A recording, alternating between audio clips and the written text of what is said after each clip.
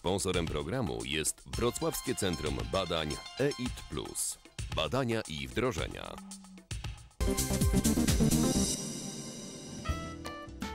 W ciągu kilku lat Wrocław ma szansę stać się centrum nowoczesnych technologii medycznych. Opracowanie nowych leków, stosowanie nanomateriałów w medycynie oraz tworzenie nowych strategii diagnostyki to główne priorytety projektu Biomed realizowanego we Wrocławskim Centrum Badań EIT+.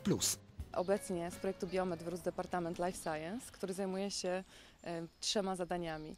Do pierwszych zadań należy analiza rynku w czterech czy pięciu obszarach strategicznych dla spółki. W obszarze Life Science są to, jest to neurologia, e, są to choroby cywilizacyjne, jest to demencja, jak również otępienie, e, między innymi choroby autoimmunologiczne.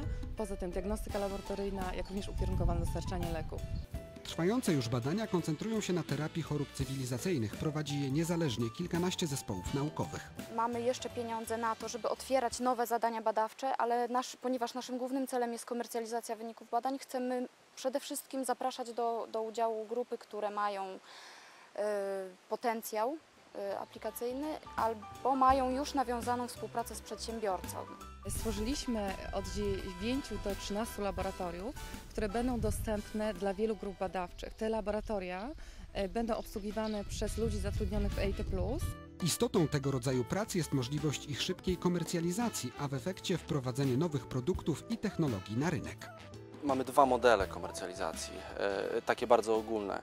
Jeden z nich dotyczy realizowania badań bezpośrednio na zlecenie EIT Plus jako zamawiającego. Wtedy wyniki tych wszystkich badań należą e, bezpośrednio do nas i to my zajmujemy się komercjalizacją tych wyników i wdrażaniem tych rozwiązań na rynek. Natomiast drugi model, który w tej chwili wprowadziliśmy, który dotyczy innymi biomedu, e, to jest prowadzenie badań naukowych dedykowanych pod kątem konkretnego przedsiębiorcy. Czyli w rzeczywistości wygląda to w ten sposób, że przedsiębiorca zgłasza się do nas z zapotrzebowaniem na nową technologię, modyfikację już technologii już istniejącej e, i my dobieramy do tego zespół badawczy, który jest w stanie e, taki proces zrealizować. E, Zaletą tego rozwiązania z punktu widzenia IT+, czy też z punktu widzenia w ogóle procesu komercjalizacji wyników jest to, że od samego początku mamy partnera biznesowego, który może wspomóc nas swoim doświadczeniem, pozycją rynkową w tym procesie komercjalizacyjnym. Prace naukowców budzą coraz większe zainteresowanie biznesu. Jesteśmy na etapie negocjacji z pierwszymi partnerami. No mam nadzieję, że już w najbliższym czasie będziemy mogli pochwalić się pierwszymi podpisanymi umowami.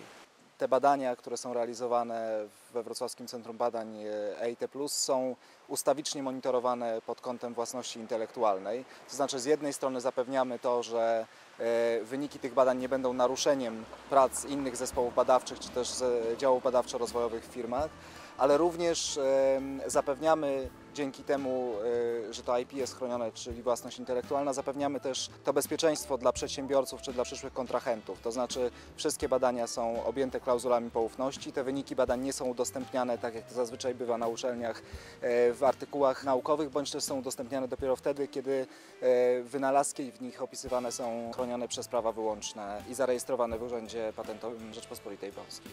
Do każdego z zadań badawczych, a jest ich w projekcie 15, oddelegowaliśmy brokera technologii. Ten broker technologii e, aktywnie e, współpracuje z zespołem badawczym i jednocześnie e, monitoruje stan techniki tak, żeby ten wynalazek, który będzie efektem realizacji tych badań, był rzeczywiście w pełni chroniony pod kątem własności intelektualnej. Finansowanie programu Biomed, biotechnologie i zaawansowane technologie medyczne zapewnia grant ze środków strukturalnych Unii Europejskiej wynoszący 27,5 miliona euro, realizowany przez Wrocławskie Centrum Badań EIT+.